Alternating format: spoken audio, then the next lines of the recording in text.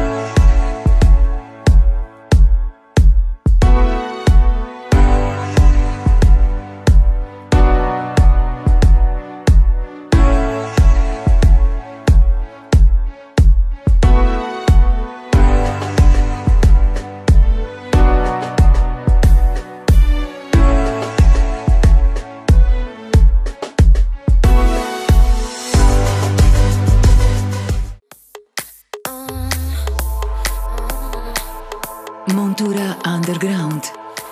Jesen zima 2015-2016.